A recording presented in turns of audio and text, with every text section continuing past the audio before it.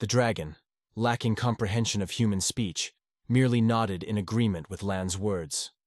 Despite her mature appearance, the dragon lady exhibited childlike behavior, darting around while Lu Fan explored his newly acquired abilities.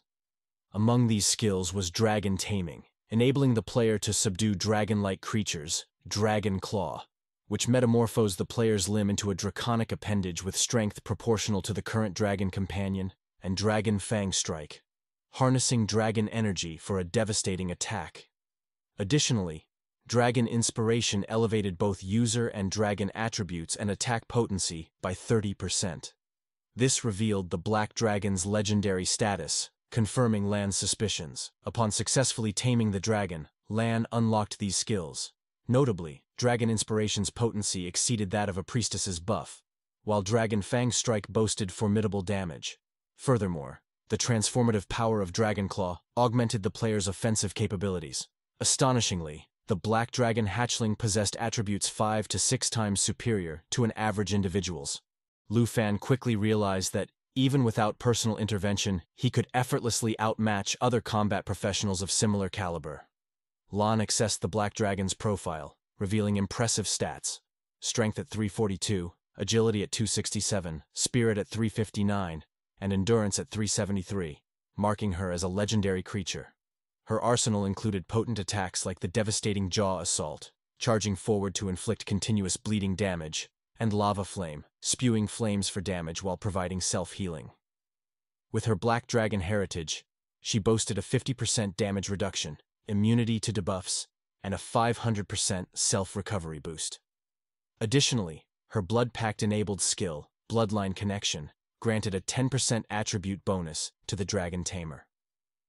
Lu Fan was astounded by the immense power contained within the young dragon hatchling. Even at level 1, it possessed formidable skills and nearly 400 attribute points. With such strength, even a human expert 20 levels above Lu Fan would find it futile to challenge him rendering ordinary humans inconsequential. Furthermore, the bloodline connection directly doubled all of Lan's attributes. He understood that this bloodline connection was the reason he felt significantly stronger after successfully taming the legendary Black Dragon. Lan was now overjoyed, a smile spreading across his face, as he realized that this was indeed the expected power of one of the three strongest hidden professions. No matter how formidable a hidden profession may be, it had no chance of prevailing against the dragon race. Without a doubt, the dragon tamer was undeniably the strongest hidden profession, not the weakest. At that moment, he noticed the dragon lady eating the eggshells from which she had hatched. Lan deduced that although the hatchling could transform into a human, she still behaved like a newborn dragon. However, one question remained. What should Lan name the dragon? Suddenly, an idea struck him, and he remembered that a little black dragon born during the night before dawn should be named Xiao Yi. Even the dragon seemed delighted upon hearing the name and smiled cutely. Lan understood that the dragon liked her new name. He was content, for even though treasure hunting was perilous, it had all been worth it. Lan patted Xiao Yi's head and inquired if she was hungry. The dragon lady nodded with an adorable smile as she finished the remaining eggshells. Lan informed her that it was time to hunt some monsters to satiate her appetite, as they couldn't return home on an empty stomach. He stood up smiling while contemplating that the trial determining his eligibility for university admission was approaching, and many students must be honing their qualifications by seeking opportunities outside the prestigious southern provinces. The Top Scholar Award and qualification for the highest educational institution in the Dragon Kingdom which Lan aspired to attend, were now within his reach. However, he knew that even after this occurrence, he couldn't take the entrance lightly, and leveling up and mastering skills should be his and Xiao Yi's top priority. Lan started running with a smile, and Xiao Yi followed him, her face beaming with delight. Lan told Xiao Yi they were heading deep into the Mount Shi Basin, where monsters tastier than eggshells awaited the dragon. As they advanced, Lan and Xiao Yi suddenly heard noises and saw a group of creatures charging towards them at insane speeds. Lan immediately accessed the system, which identified them as plains hyenas with the rending bite attack, inflicting continuous bleeding damage, and putrid aura, debuffing the target with a disease. Once killed, they would drop canine teeth worth 95 dragon coins. Lan knew these bastards were more dangerous and tougher than the bloodthirsty gray fox. Even after defeating the wild level 10 bloodthirsty gray fox, he had suffered numerous injuries. Remembering this, Lan hesitated to attack, but the dragon lady was already airborne with a devilish smile, eager for more food.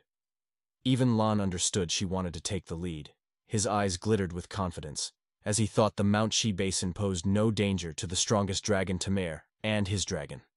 Both Lan and Xiao Yi smiled, advancing towards the plains hyenas, ready to send them into the dragon's stomach as her meal. The dragon soared high, and as the hyenas roared, she inhaled deeply, her stomach glowing with a flame aura. Finally, she attacked the hyenas with her lava flame, and as the creatures burned, Lan and the black dragon earned experience points, as Xiao Yi continued using her lava flame attack. Lan vigilantly monitored the system, witnessing their level increases. Luan had finally reached level 11, and the black dragon was now level 3. He smiled, ordering Xiao Yi not to waste time on small fries. Both looked towards a den inside the mountain, and Lan told Xiao Yi a big guy had been waiting for them for a long time. Three piercing sets of eyes glared at Lan and her dragon, and finally, the creature emerged from hiding. It had three heads, clearly showing the monster's killing intent. It was none other than the three-headed blood lion, a level 25 lion-like creature with multiple attacks. It possessed Inning Roar, increasing defense and attack, Trample, dealing significant damage within range, and Triple Flame, inflicting three instances of fire area damage. Upon defeat, the creature would award 23,790 experience points to the player and drop materials like Bloodlion's tooth and Bloodlion's skin. Lan knew that for a level 25 elite boss, a strong team of monster hunters would typically be required just to approach. But he was a dragon tamer now, and could handle anything. He ordered Xiao Yi to engage the three-headed lion in battle. As Luan and Xiao Yi advanced, the lion used Roar, increasing its defense and attack power for a certain period. Then it started charging a heavy triple flame attack. Luan understood the necessity of allowing time for his attack to charge. As he dashed forward, he instructed Z to collaborate with him in disrupting the lion's skill. Flames enveloped Z's body as Luan gripped his cleaver firmly. Together, they lunged towards the three-headed lion, witnessing the dragon revert to its original form during the mighty jaw assault. The black dragon swiftly closed the distance, sinking its fangs into the creature's face and restraining the other heads with its razor-sharp claws. Upon receiving confirmation from the system that the triple flame attack had been successfully halted, Lan commended his dragon for its excellent performance. With a swift motion, he unleashed the Dragon Fang strike, harnessing the dragon aura to deliver a devastating blow with his weapon. As the creature fell lifeless to the ground, Lan and his dragon retreated to their initial positions. The dragon resumed its human form, leaving Lan astonished by the rapid leveling up facilitated by the assistance of elite monsters. Luan had reached level 14, while his dragon companion had attained level 9. Suddenly, a system notification alerted Lan to the activation of the treasure map system, signaling the arrival of a new treasure map for the day. A subtle smile graced Lan's lips as he pondered the potential exclusive items for dragon tamers that this treasure might unveil. Promptly, he instructed Z to accompany him on the treasure hunt, to which the dragon lady eagerly agreed, wearing a smile that mirrored her master's enthusiasm. Meanwhile, deep within the Mount Shi basin, a trio stood contemplating their next move. The blue-haired girl questioned her uncle's decision to let such a rare opportunity slip away, but he explained their predicament. Sun Ji, the warrior uncle, revealed that activating the Fort Fortuitous realm required a minimum of five individuals, a number they currently lacked. He proposed sending Miss Kai back to Jianghai City to recruit more help. However, Miss Kai, a rogue, interjected expressing doubts about the feasibility of the plan due to the time constraints involved in her journey. Identified as Chin Qiu, the blue-haired girl's profession remained undisclosed as she highlighted the allure of fortuitous realms with their heightened rewards compared to regular dungeons. Despite this, she pointed out the challenge of their fleeting existence, lasting only 24 hours, rendering the uncle's plan unfeasible before the dungeon's closure. Sun Ge reassured Qin that she need not fret over gains and losses like those in the secret realms, as her strength alone could secure her admission to the top 10 universities, which would grant her access to secret realms. Despite this assurance, Qin remained despondent, lamenting their proximity to the secret realm, with one member short. Suddenly, Sun Ge and the rogue girl heard a noise and swiftly turned, poised for attack. To their surprise, they encountered Lu Fan, who assured them he meant no harm and was merely passing through the mountain. The uncle, taken aback by the presence of such a young boy in the Mount Shi Basin, advised him against material hunting and urged him to leave. However, Qin intervened, introducing herself as Qin Shu from the Qin family in Jianghai City. Though aware of the abruptness, she invited Lu Fan to temporarily join their group. She tempted him with the promise of a 100,000 dragon coin reward for simply accompanying them into the secret realm of chance, assuring him that he wouldn't need to do anything else. Upon hearing about the prize, Lu Fan halted in his tracks, contemplating the offer. Recognizing the significance of the Qin family's pursuit of the secret realm of chance, given their status as the wealthiest family in Jianghai City, Lu Fan inferred that the final reward must be exceedingly rare.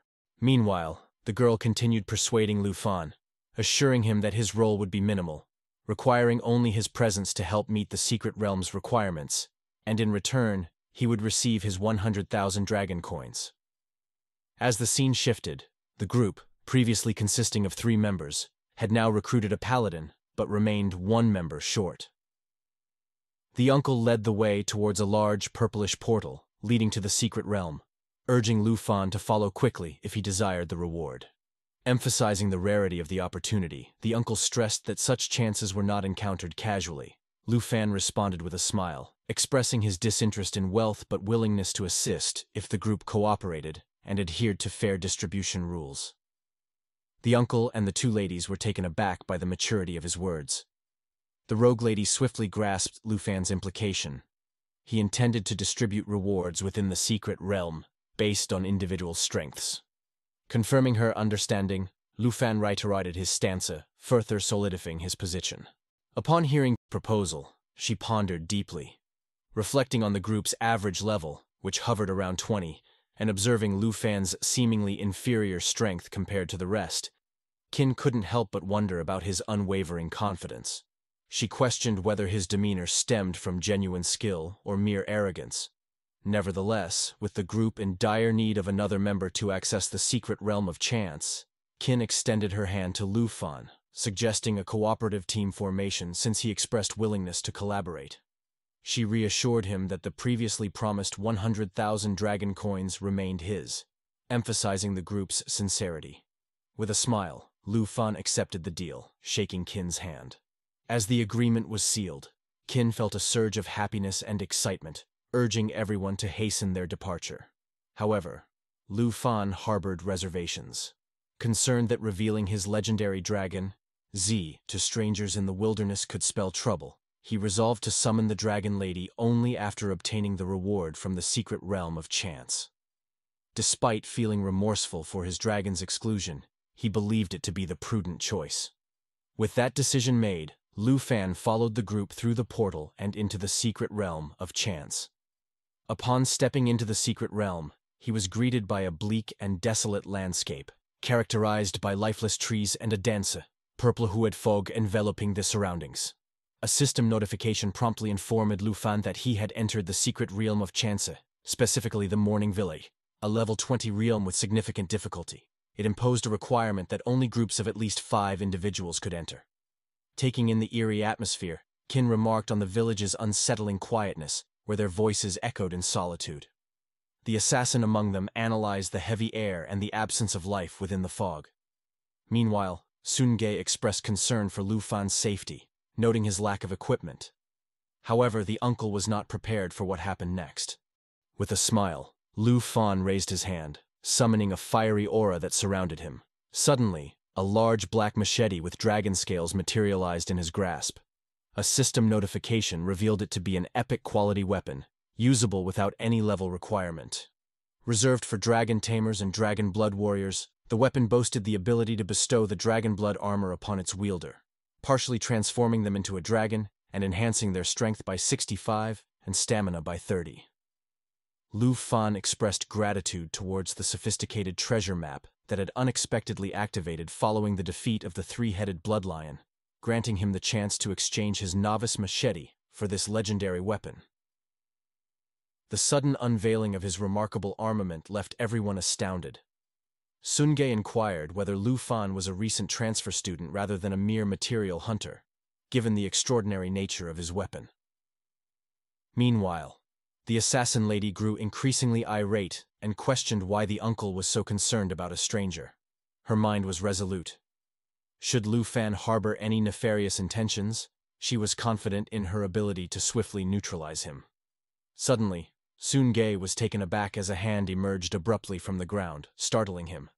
These were none other than the corrupt zombies, level 15 adversaries that yielded 620 experience points upon defeat, along with a corruption poison sac and 256 dragon coins.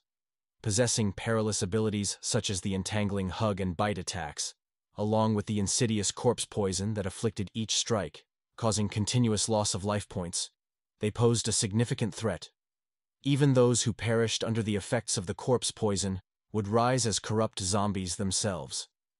Kin cautioned the uncle to be wary as a swarm of corrupt zombies emerged from the ground beneath them, poised to attack and infect the group with their deadly corpse, poison. Swiftly, the paladin stepped forward, brandishing his shield to intercept the onslaught of each and every corrupt zombie. A status window materialized, revealing him to be Jia, a level 20 knight skilled in combat. As the uncle retreated to stand beside the assassin lady, he commended Jia for his prompt assistance and counterattack. The uncle himself boasted a combat profession, being a level 28 warrior, and skillfully dispatched the approaching corrupt zombies alongside the rogue lady, who was also a level 28 rogue.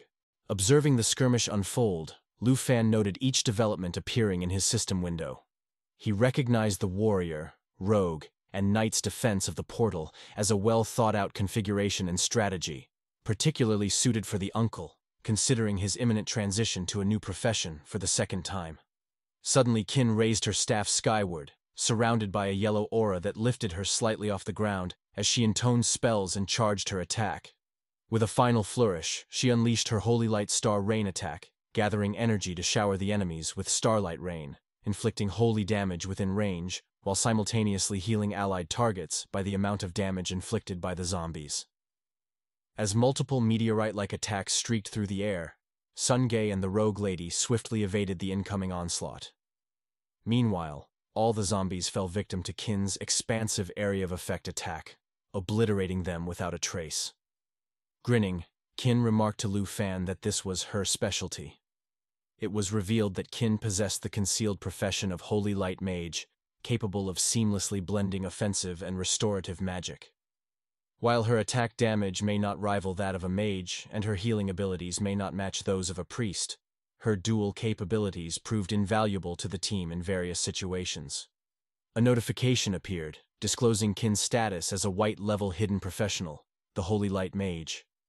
Even Lu Fan was taken aback by the revelation of encountering another hidden professional in such a short span of time. He praised the effectiveness of Kin's holy damage against the zombies. However, the tranquility was short-lived, as an earthquake rumbled beneath their feet, causing them to hastily regain their balance. Lu Fan deduced that the commotion had alerted some elite monsters, who were now advancing toward the group. Judging from the sound of their approaching footsteps, Lu Fan surmised that they were a considerable number. Suddenly, a blood-red hand emerged from the ground, prompting a system notification revealing them to be level 20 blood zombies. These creatures promised a bounty of 840 experience points upon defeat, along with Blood Corpse Poison Sac and 90 Dragon Coins.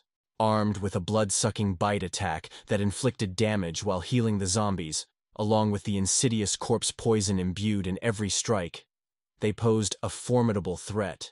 Additionally, they possessed a new ability, Blood Fury, which fueled their aggression boosting their strength and agility by 40%. Gradually emerging from the ground, these zombies were determined to eradicate the entire group of living beings before them.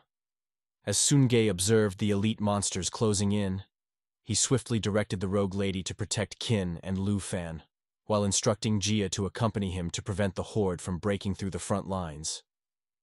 Halting his ongoing skirmish, Jia promptly obeyed the leader's command, both warriors poised for heavy attacks.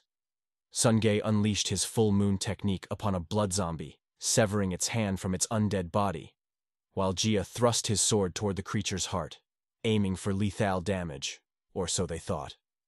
To their dismay, the zombies showed no signs of damage, instead smiling wickedly as they absorbed both weapons into their bodies. Their laughter grew manic as they activated the corpse poison, infecting the group while healing themselves. Perplexed, Jia struggled to comprehend how this was possible, while Kin lamented her inability to dispel the poison without the clarity of a priest, rendering her helpless to aid anyone. Meanwhile, the zombies continued to swell in size, engulfing Jia's hand and intensifying the effects of the corpse poison with each passing moment. Desperate, Jia cried out in agony, urging the group to help him and pleading with Sun Ge to release his weapon to avoid infection. Sun Ge rushed to the knight's side, ordering the rogue lady to defend them from the encroaching blood zombies while he attempted to extricate Jia from the grasp of the muscular undead. However, she struggled to fend off the relentless onslaught as the zombies sought to assimilate her into their ranks as well. Suddenly, Lu Fan's voice rang out, urging Sun Ge and the knight to remain calm and allow the rogue lady to continue the fight. It became apparent that one of Lu Fan's eyes glowed with a crimson hue as he brandished an epic machete, ready to join the fray against the monsters. Sun Ge urged Lu Fan to step aside from the encroaching red blood zombies, fearing he would suffer severe injury if he remained in their path. However, Lu Fan's eyes gleamed with fierce resolve as he wielded his legendary ink dragon machete, enveloped in a yellow flaming aura, and swiftly struck at the blue zombie's throat.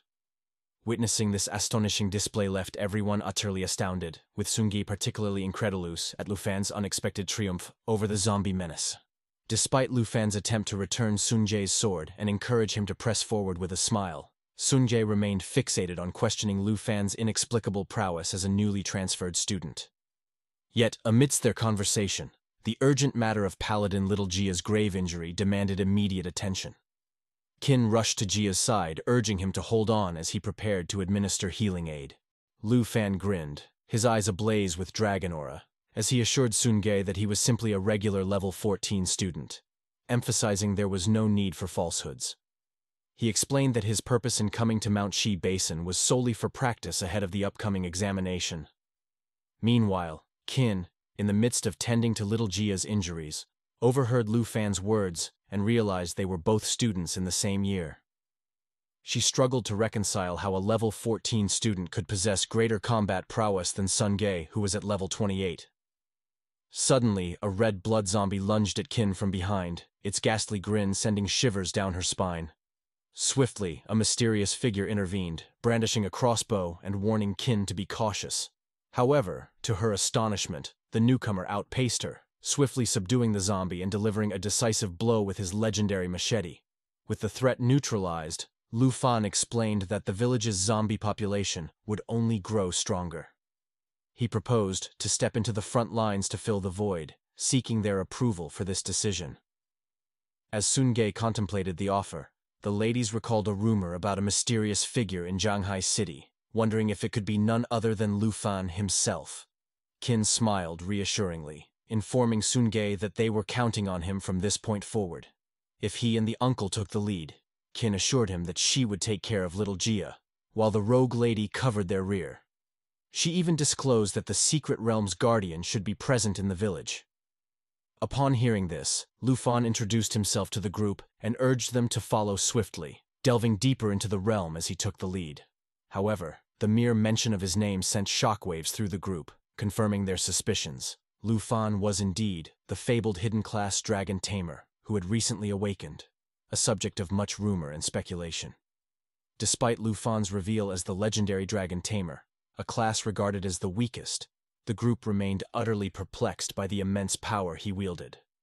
The scene transitioned to the village's center, where Lu Fan and his companions found themselves relentlessly battling wave after wave of bloodthirsty zombies. As he fought, Lu Fan contemplated the dire situation. Kin's abilities could not cure the corpse poison ravaging little Jia's body, and the teleportation gate, their only means of escape, would not manifest until they defeated the secret realm's formidable guardian. Urgency gripped Lu Fan as he realized they must hasten their efforts, or risk losing little Jia to the insidious poison's spread, which could even transform her into one of the undead. However, the rogue lady couldn't help but wonder why there was no sign of the dreaded guardian, even at the heart of the village, where one would expect its presence to be most palpable. Suddenly, little Jia's sharp eyes noticed a group of zombies, stealthily encircling Sun Ge from behind, accompanied by an ominous rustling sound emanating from the debris at his back. Summoning every ounce of his remaining strength, bellowed a warning to his uncle before collapsing unconscious to the ground. Witnessing this, Kin raced to his side, desperately imploring him to hold on. But in that moment, a crimson beam of light pierced through the debris above the group, revealing a colossal, iron-skinned zombie with multiple heads and a single menacing red eye as its focal point. This nightmarish foe surged towards them with insane speeds, posing an immediate and terrifying threat to their very survival. We come to understand that the menacing iron-skinned zombie was a formidable level 20 monster, capable of yielding a substantial reward of 40 dragon coins and 3 in 720 experience upon its defeat. However, its true threat lay in its array of deadly abilities. A corpse poison attack, an assimilation absorption that allowed it to absorb and merge with poisoned targets, increasing its maximum HP, and a steel skin ability that caused it to enter an iron skin state, boosting its defense and endurance by a staggering 40%. The rogue lady gasped in horror, realizing that the secret realm's dreaded guardian had manifested before them. Upon witnessing the iron-skinned zombie, Lu Fan grasped the severity of little Jia's condition. Her corpse poison had worsened to such an extent that it now attracted the attention of these deadly IR skin zombies. He urgently commanded the group to swiftly defeat the zombie before it could attempt to assimilate and absorb the paladin. Spurred into action by Lu Fan's warning, Sun Ge immediately charged towards the zombie, unleashing a powerful moonlight slash. However, his attack proved futile, unable to even scratch the iron-skinned foe's impenetrable defenses.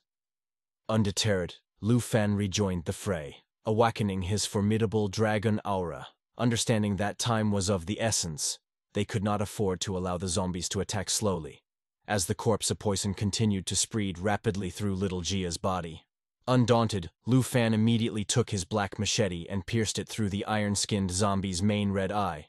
However, his attack proved futile, as the creature had entered its steel skin state, increasing its defense and endurance by a staggering 40%. Lu Fan examined his ink dragon scale machete, realizing he needed two more swift strikes for they had no time to spare. The zombie could attempt to absorb little Jia at any moment. Suddenly, his gaze fell upon the status window, revealing the Dragon Blood Armor skill, which could partially transform the user into a dragon. Meanwhile, the iron-skinned zombie finally charged towards the paladin, its assimilation absorption skill primed and ready to absorb the poor soul. In that crucial moment, Lu Fan commanded Qin to coordinate her holy spells with his attacks, while he began transforming his hand using the Blood Dragon armor. He instructed his uncle to protect little Jia with the aid of the rogue lady. As Lu Fan's transformation completed, one of his hands had morphed into a draconic appendage, ready to heed his commands. Heeding his call, Qin began chanting her holy spells, her staff raised high into the air. Together, Lu Fan and Kin charged towards the iron-skinned zombie, with Lu Fan leaping at the creature with all his might, while the Holy Light Mage unleashed her Holy Starlight Rain attack upon the undead foe, hoping to deliver a devastating blow and defeat it once and for all. That concludes today's video. The next part will be uploaded once the following three chapters are available.